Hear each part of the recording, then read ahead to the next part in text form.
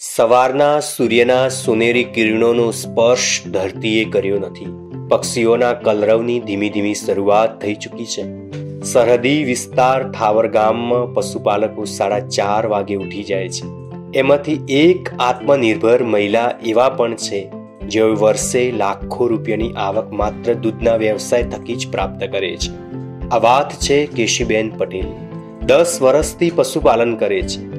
News views સાથેની વાતચીત દરમિયાન તેઓએ જણાવ્યું કે પશુપાલન થકી અમારી જિંદગી પ્રકાશિત થઈ છે. તમે કેટલા સમયથી આ પશુપાલન કરો છો? અમે કરા સાત આઠ વર્ષથી. અને તમારા જીવનમાં એમાં શું પરિવર્તન બદલાવ શું દેખાય છે મને સારો પોસાય ગાય. પશુ ધંધો સારો લાગે અને ખેતી ઉપર શું અસર પડી છે એને?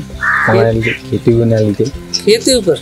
ખેતી ઉપર અમે હેરતો હોય ઢોરા સારી જોડવામાં હા.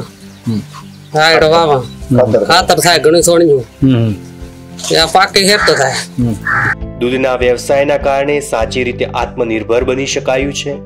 તેમણે વર્ષ દરમિયાન એક લાખ બેતાલીસ હજાર એકસો ને છત્રીસ કિલોગ્રામ દૂધ ભરાવીને અનોખો વિક્રમ સ્થાપિત કર્યો છે. દૂધમાંથી અઠ્ઠાવન લાખ કરતાં પણ વધુ આવક પ્રાપ્ત કરી છે. જિલ્લામાં મોખરાનું સ્થાન પ્રાપ્ત કરવાના લીધે એશિયામાં સર્વશ્રેષ્ઠ અને ભારતનું ગૌરવ કહી શકાય એવી બનાસ ડેરીએ બનાસ લક્ષ્મી એવોર્ડથી પણ સન્માનિત કર્યા છે. માત્ર ત્રણ ગાયોની શરૂઆત કરનાર કેશીબેન પટેલ પાસે હાલ સો જેટલા દુધાળા પશુ છે. પચીસ વાછરડી છે. સાથે સાથે છાણિયા ખાતરમાંથી તેઓએ પાંચ લાખ કરતાં વધુ આવક મેળવી છે.